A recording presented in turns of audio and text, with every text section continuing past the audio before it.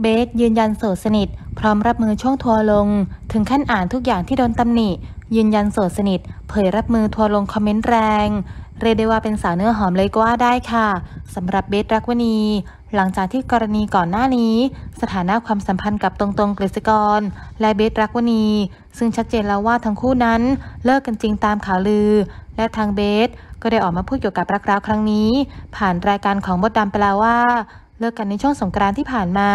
ตอนนี้หัวใจโอเคดี หลังจากที่พ่อเบสออกมาแฉฝ่ายชาย ตนก็ได้คุยกันอยู่ตลอด ตอนที่มีปัญหาอีกฝ่ายก็รู้ ปัญหาทุกอย่างอยู่แล้ว พ่อกับแม่ก็รู้ ส่วนทางด้านหนุ่มตรงๆ ก็ยังไม่ได้ออกมาชี้แจงหรือตอบในเรื่องความสัมพันธ์ กับสาวเบสในครั้งนี้ ล่าสุดเบสได้ไปออกรายการ Sing with me ร้องกับ CEP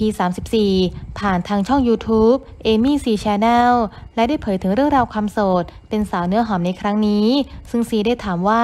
คนมาขายขนมจีบเยอะไหมด้านเบสก็ได้ตอบว่า ไม่มีพักไว้ก่อนเรื่องผู้ชายแต่ DM ก็มีมา แต่ว่าไม่ได้ตอบ แถมซียังลั่นว่า กระซิบซิเป็นคนในวงการป้าเบสตอบกลับว่าไม่ไม่ เป็นคนที่รู้จัก เป็นคนที่มีชื่อเสียง เป็นอินฟลูท่านหนึ่ง ล่าสุดที่มีคนทักหนูก็คือ เขาไปเจอหนูในที่ที่หนึ่ง เพราะวันนั้นไปเที่ยวกับเพื่อน เขาก็ทักมาบอกว่าเฮ้ย วันนั้นเจอที่นี่นะ แต่ถ้าคนที่จะมาจีบ ควรจะมาเห็นหน้ากันก่อน อาจจะเคยร่วมงานกัน หรืออาจจะเป็นเพื่อนของเพื่อนแบบนี้ก็ได้ อีกทั้งยังยืนยันว่าโสดเข้ามาได้ แต่ว่าจะตอบไหมก็อีกเรื่องหนึง่งอีกทั้งยังเผยวิธีครั้งที่ทัวร์ลง ซึ่งเบสได้เผยว่า